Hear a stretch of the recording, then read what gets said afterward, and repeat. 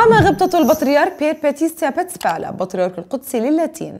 ووفد مرافق له من كهنة البطريركية اللاتينية. بزيارة تعزية ومواساة إلى عائلة الطفل ريان جعنينة من بيت جالا الذي توفي إثر تعرضه للغرق في بلدة أريحا.